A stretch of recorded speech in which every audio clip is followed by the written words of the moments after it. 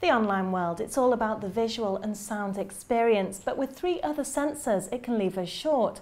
Studies have demonstrated that over half of human communication is non-verbal, so scientists are working on ways to communicate taste, touch and smell over the internet.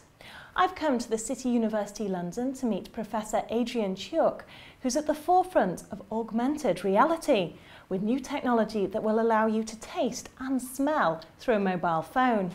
Adrian, this sounds completely unbelievable. Have you really found a way to transmit tastes and smells via a mobile device?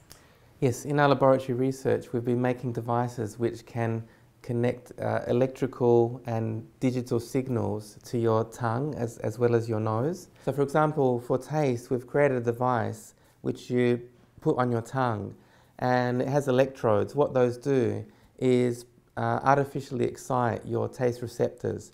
So certain electrical signals will, will excite the receptors and that will produce artificial taste sensation in your brain. So you'll be able to experience, for example, salty, sour, sweet, bitter, the basic taste on, from your tongue without any chemicals. Um, and with smell, we're going in a couple of tracks.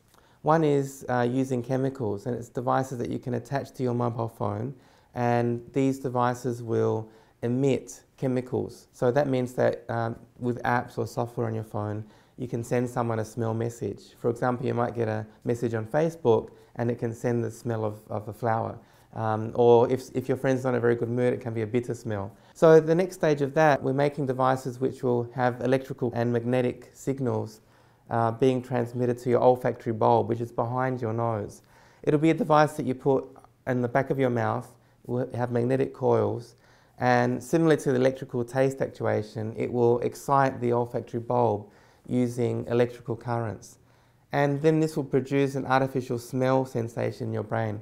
Already scientists have been able to connect optical fiber to neurons of mice. And that means that we can connect electrical signals to neurons. With the rate of change, for example, with Moore's law, you get exponential increase of technology. I think within our lifetimes, we're going to see direct brain interface. So, in fact, what you will get is essentially you can connect all these signals directly to your brain, um, and then you will be able to uh, experience uh, a virtual reality without any of these external devices, but essentially connecting to the neural centers of your brain. And of course, that also connects to the internet. So essentially, what we will have is, is direct internet connection to our brain. I think that will be something that we will see in our lifetime. So, direct brain interface, that sounds kind of dangerous. I mean, could there be any side effects? Well, we're still at the very early stages now. So, scientists can, could connect, for example, uh, one optical fiber to, to the neuron of, of a mouse.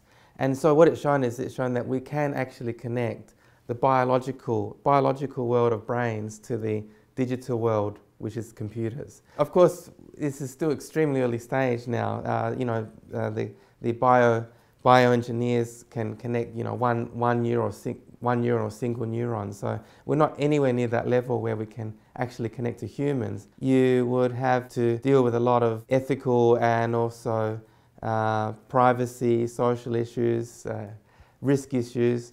Uh, now if you have a virus on your computer, it's, the worst it can do is cause your com computer to crash. But um, you know, you could imagine worst case, someone could reprogram your brain. Uh, so we'd have to really think very carefully. Well, why is it important to offer smell over the internet? Fundamentally, smell and taste are the only two senses which are directly connected to the limbic system of the brain. And the limbic system of the brain is the part of the brain responsible for emotion and memory. So it is true that smell and taste can uh, directly and subconsciously trigger your emotion, trigger your memory. Now that we're in the internet age, where more and more of our communication is through internet, through the digital world, that we must bring those uh, different senses, touch, taste and smell, to the internet so that we can have a much more emotional sense of presence. What will this be used for? Like all media, people want to recreate the real world. When cinema came out, people were filming, you know, scenes of city streets and, you know, be able to capture that on film was quite amazing. But as the media developed, then it became a new kind of expression. And I believe that will be the same for the taste and smell media. Uh, now that it's introduced, at, at, first people just want to recreate smell at a distance. So for example, um, you want to send someone uh, the smell of flowers. So Valentine's Day, for example, maybe you can't meet your lover or your friend, but you can send the virtual roses and the virtual smell of the roses to his or her mobile phone. But at the next stage, it will lead to, I think, new, new kinds of creation. For example, music before, if you want to play music, you needed to play with an instrument like a violin or guitar. But now, the uh, young people can compose music completely digitally. Even there's applications on your mobile phone, you can compose music with your finger and it's really professional. Similarly, that will be for smell and taste. We will go beyond just recreating the real world to making new kinds of creation. So will it also have a commercial use? For advertising, because smell is a way to trigger emotions and memories subconsciously. Um, now, you can shut your eyes and you can block your ears, but it's very rare that you, you, you ever block your nose because you can't breathe properly. So people don't block their nose, and that means advertising can always be channeled to your nose. And also if you can directly trigger a memory or an emotion, that's very powerful. We received interest from one of the major food manufacturers and we're having a meeting uh, again soon.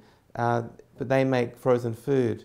And uh, the difficulty to sell frozen food is you can't smell it. You just see these boxes in, in the freeze, freezer, but because it's frozen, no smell can be there. But if they can, they want to have our devices so that when you pick up the, the frozen food, maybe it's like a uh, lasagna, well, you can have a really nice smell of what it would be. How expensive will this be? We're aiming to make devices which are going to be cheap because I think only by being very cheap can you make mass market devices. So our current device, actually to manufacture it, is only a few dollars.